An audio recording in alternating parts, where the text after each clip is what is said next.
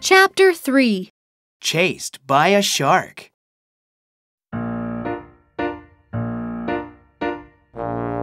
When Sandy wakes up, the sun is still shining. She wants to play. She wants to swim, dive, and race. All her friends are still asleep. Should she wait for them to wake up? Sandy knows she should wait, but she wants to play now. She wants to play with her brown shoe. She looks for her shoe in the kelp. She cannot find it. Where is her shoe?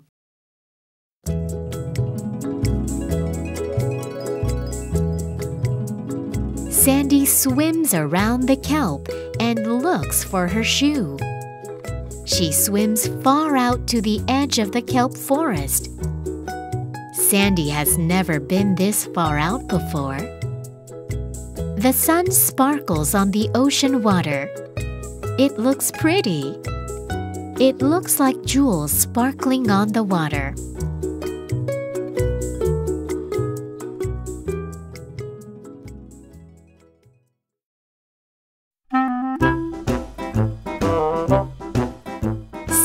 Wants to see what the deep ocean looks like. She dives underwater. The sun shines through the water and sparkles on tiny bubbles of air. Sandy looks far out into the sea. There is only blue water. Sandy sees some fish swimming together in a school. She follows them, and they turn to the left. She follows them, and they turn to the right. Sandy follows the school of fish. They swim down and they swim up. Sandy swims down and swims up too. She is having fun. Then the fish swim away.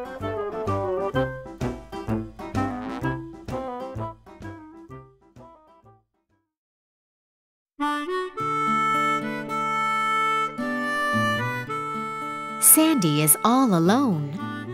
She does not see the kelp forest anymore. She sees the blue ocean water. She turns around, and all she sees is the blue ocean water. She looks down. She cannot see the bottom of the ocean. She swims to the surface and looks. She is very far away from land. She is very far away from her kelp forest. Sandy feels lonely. Sandy feels scared. She has never been alone before. She has never been this far out in the ocean before. She starts to swim back to the kelp forest. She pushes hard with her back paws and her tail. Sandy is swimming fast. She is swimming almost 9 kilometers an hour.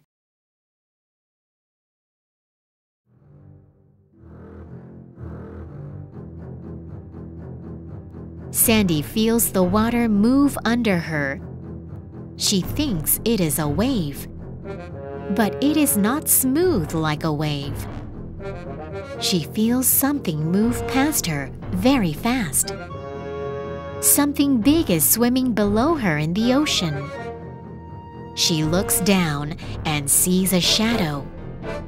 The shadow goes away and comes back. It gets bigger. The shadow is a shark. Her mother told her to watch out for sharks and sea lions. Perhaps the shark wants to eat Sandy. Sandy's heart pumps hard. She swims fast. Her webbed feet help her swim fast. But the shark swims fast too.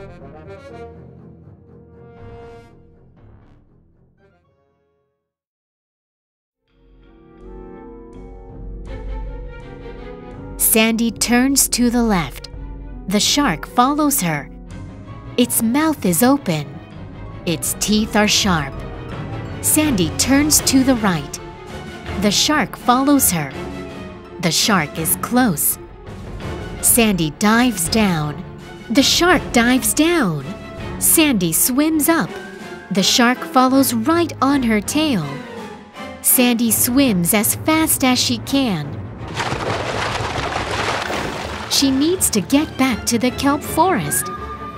Will she get away from the shark?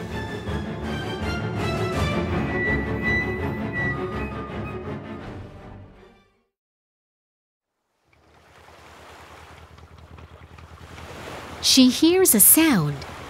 Thrum, thrum, thrum. It is a motor. It is the motor on a fishing boat. The shark hears the motor too. Thrum, thrum, thrum. The fishing boat is coming closer. The shark looks at Sandy. Sandy keeps swimming. The shark looks at the fishing boat. Thrum, thrum, thrum. The shark looks at Sandy one more time.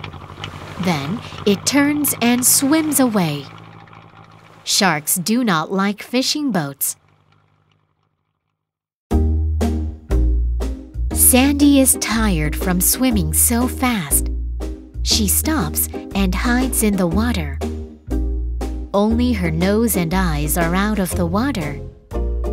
The motor on the fishing boat thrums. She looks at the boat. She sees the fisherman on the boat pulling a net. She hears the motor. Thrum, thrum, thrum. The boat passes by her in the ocean.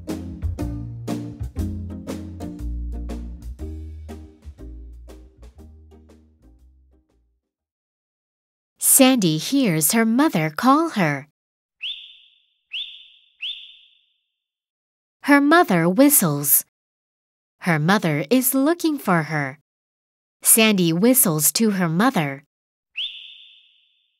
Sandy hears her mother whistle louder. Sandy swims back to the kelp forest.